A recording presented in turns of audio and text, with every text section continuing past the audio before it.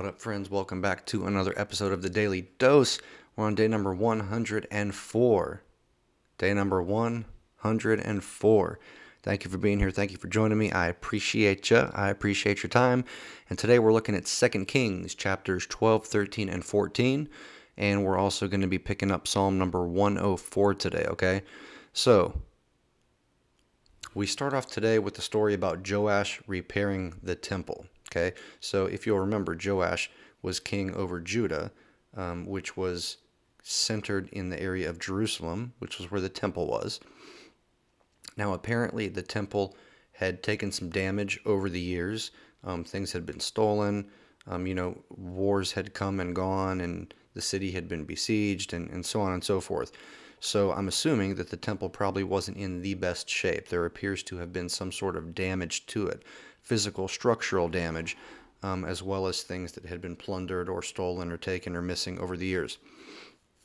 So in the seventh year of of Jehu, uh, and I believe Jehu was on the Israel side of the kingdom. In the seventh year of Jehu, Joash becomes king. Okay, so we read that Joash reigned for 40 years in Jerusalem. Joash did what was right in the eyes of the Lord. Amen. He, however, he did not remove the high places of sacrifice that were in the land.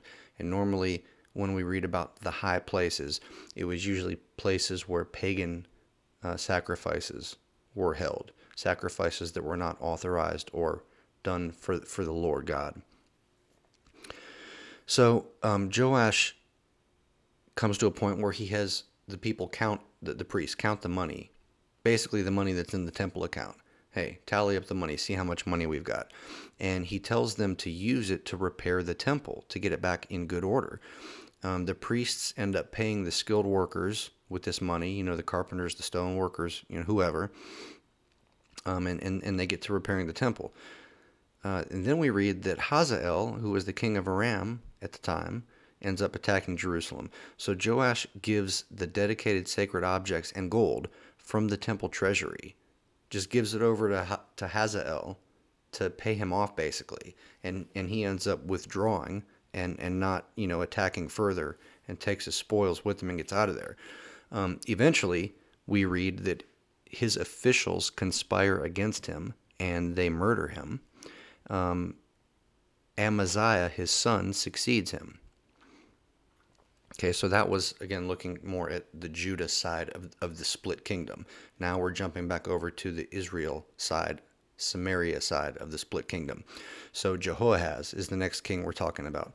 In the 23rd year of Joash, down in the, the Judah side of the kingdom, um, Jehoahaz, the son of Jehu, took power. Okay, uh, we read that he reigned for 17 years and guess what? He did evil in the sight of the Lord, like so many before him. Um, he was ultimately succeeded by his son Jehoash.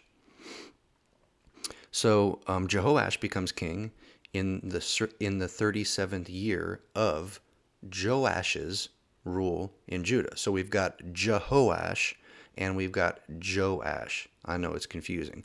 So Joash, the king in Judah, had been reigning for 37 years at this time when Jehoash becomes king over the uh, Israel side of the split kingdom.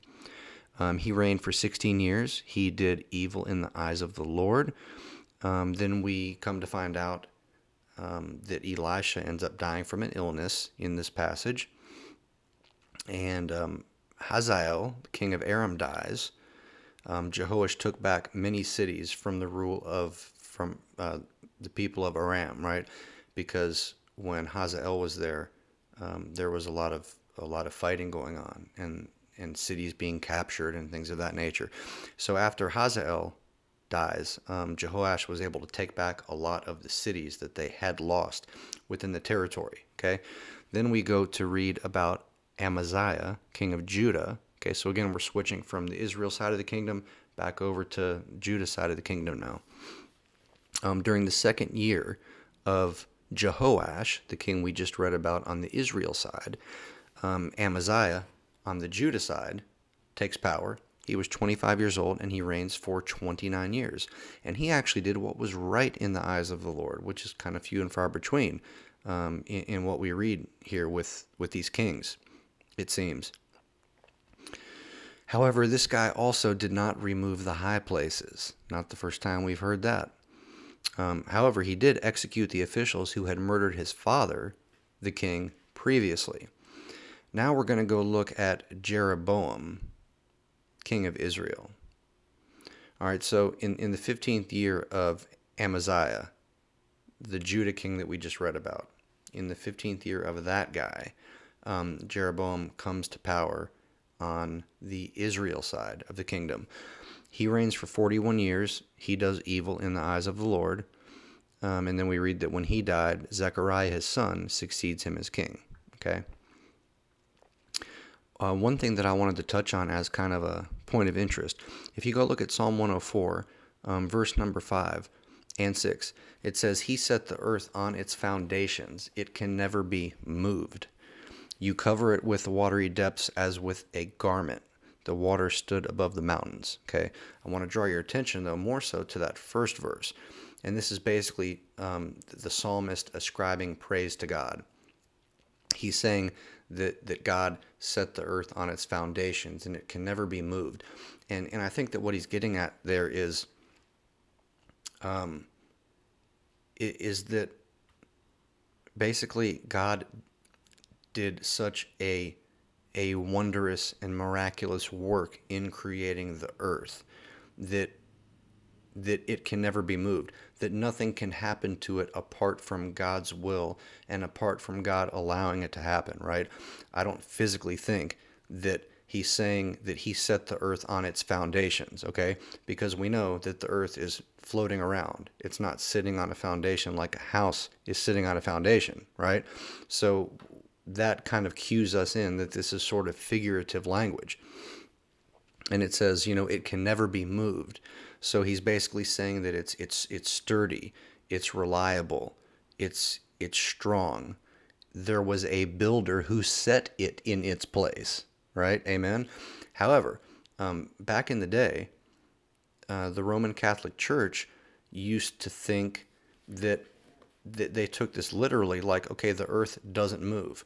So the sun must be rotating around the earth because the earth stands still. The earth is the center of the universe because of the scripture. And then Galileo comes along and basically has this bright idea that, hey, actually everything is rotating around the sun, not around the earth. And so the Roman Catholics tried to get Galileo to denounce his his new scientific theory because they thought that it it went against what they believed in the Bible. But any of the places that I've read, um, and there's a few, but any of the places that I've read specifically says something very similar to this. It says, you know, he set the earth on its foundations, it can never be moved. Okay?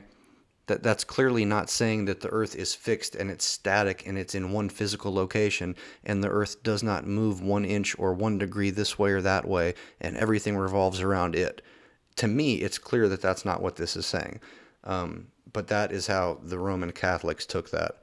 And so there was a big to do um, trying to say that, that Galileo was promoting heresy um, by trying to claim that the sun was actually the center of the universe and everything revolved around it. So there's an interesting little tidbit of trivia knowledge for you guys for today. But, anyways, I'll leave you with that. And again, thank you so much for being here. Love you guys. Appreciate you. And until we meet again, deuces.